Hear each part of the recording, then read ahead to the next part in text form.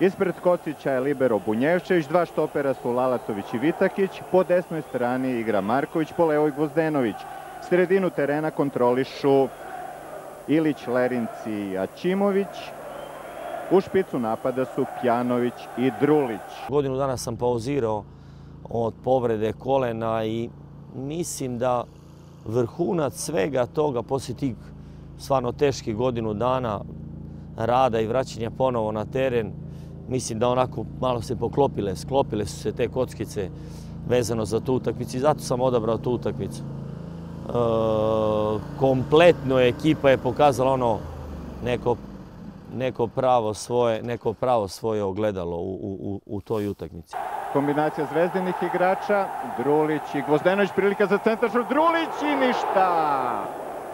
Već na početku utakmice odlična akcija futbalera Crvene zvezde koji su naravno tehnički superiorni u odnosu na svoje protivnike. I pogledajmo sada ovu izvanrednu akciju iz drugog ugla. Dobar centar šut ofenzivnog Ivana Gvozdenovića i zahvatio je loptu, ali bio neprecizan Goran Drulić. Prodoran, pokretljiv centar for, naravno, očekuje se, očekuju se njegovi golovi. Svašta se tu dešavalo, to je otprilike bilo neko kratko vreme posle bombardovanja 99. E, igrali smo u, u, u Engleskoj, poslije toga nam nisu dozvolili da igramo na našem stadionu na Marakani, pa je utakmica morala se igra u Beču. Malo je čudno bilo u početku, ali stvarno u onom trenutku osjećali smo se baš bukvalno kao da smo kući. Bio je prepun stadion, mnogo naših ljudi što što iz Srbije, što ljudi koji žive tamo su došli, prepun je bio stadion, atmosfera je bila fenomenalna i mislim da su i oni uživali, kao što smo mi uživali na terenu, mislim da su i oni uživali na, na, na stadion, na tribinama. Evo sada Drulića, šansa za Crvenu zvezdu, Drulić i gol! Gol! Gol! 1-0 za Crvenu zvezdu. 22. minut, proradio je Goran Drulić. Odličan prodor i neodbranjiv udarac. Crvena zvezda vodi sa 1-0. Prvi gol je bio, Bunja mi je gurnuo pas, dubinski pas u prostor, bio je kao neki polu vole, ako se dobro sećam, neka, nešto preko spoljne je bilo. 1-0 za Crvenu zvezdu, gol Crvene zvezde sada iz drugog ugla, pogledajmo, na vreme se ubacio Goran Drulić. Izuzetan šut i 1-0.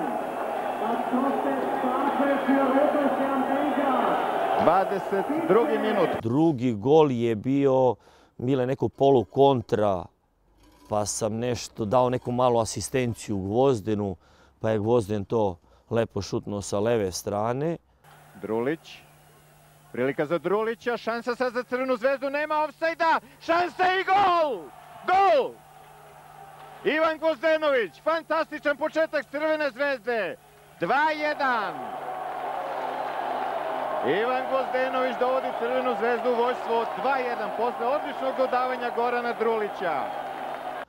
A treći gol, e, pošto, smo, pošto nas je šef e, Muslin e, u tom periodu smo dosta radili visoki presing, što je malo bilo za čudne, čudno u to naše vreme. On nam je to nešto doneo iz iz njegovog, iz njegovog e, trenerskog iskustva. E, radili smo dosta visoki pressing. E, uzeli smo loptu, ja mislim, na neki 25-30 metara od njihovog gola. Marijan Marković je po boku iz prve proigrao pijanu. Ja sam odmah tražio dubinu, pijana me spojio između dva štopera, ja sam je samo primio i šutnuo. Drugi pogodak Drulića. Treći gol Crvene zvezde na stadionu Gerhard Kanapi u Beču. To je neka brza reakcija. Svi me im ponekad pitaju zašto sam šutno špice. Ja i dan danas, evo sada, pošto imam tu, tu čast da radim sa, sa mladim igračima, sa mladim špicima u Zvezdi, učim ih da prvo što prva, prva misao koja uđe u, u, njihov glavi, prvo što odluče da to prvo odrade. U tom trenutku ja mislim da je meni to prvo došlo na pamet i to sam prvo uradio i ispalo je dobro. Janović sada je asistirao Druliću i kakav veliki povratak Centar fora Crvene zvezde Gorana Drulića koji je skoro godinu dana pauzirao zbog povrede ligamenata. Vratio se Goran Drulić na pravi način. Vratio se golovima. Njegov drugi gol i 3-1 vodi Crvena zvezda u Beču. Izgledalo je čudno zato što su imali strahovito ružno ponašanje sa strane celog stadiona kada smo išli u Engleskoj pa su nešto izigravali, pokušavali nešto da nas isprovociraju avioni, pa neko bombardovanje, pa, e, pa možda i ta utakmica u Beču je malo i neka mržnja iz izlazila i hteli smo to da najbolje odradimo. Mislim da smo dali sve od sebe, prošli smo u naredno, u kolo. U naredno kolo nas je sačekala Selta, fenomenalna atmosfera. Ja uvek kad se vratim za to, to je meni je naj, te dve najbolje utakmice, koja je najbolja atmosfera koju sam ja osjetio kao, kao, kao futbaler Zvezde, to je ta protiv Meca ovde i protiv Selte ovde. Ja sam osjećao kao da danas prvi put izlazim na Marakanu. Takav sam neki osjećaj uh, imao i mislim da smo igrali mnogo, mnogo dobru, mnogo uh, jaku takmičarsku utakmicu, zrelu utakmicu. Bilo je tu šansi i sa njihovih i sa naših, sa naše strane. Bunjevčević, pas za Pjanovića, evo sada prilike, Pjanović, Pjanović, Pjanović, Pjanović, gol, gol, gol, gol! Ne, to je bio Drulić.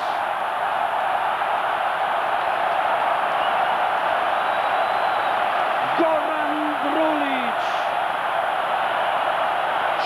62. minut.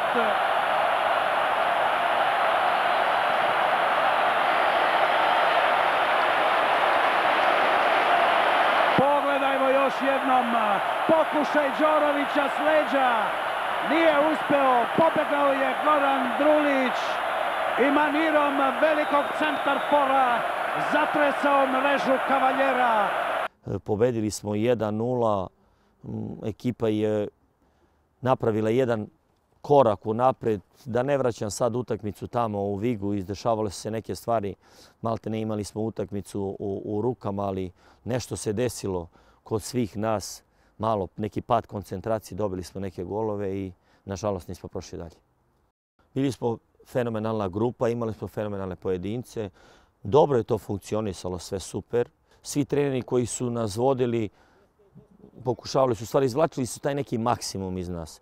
I mi smo i davali svoj maksimum. Na terenu smo davali svoj maksimum.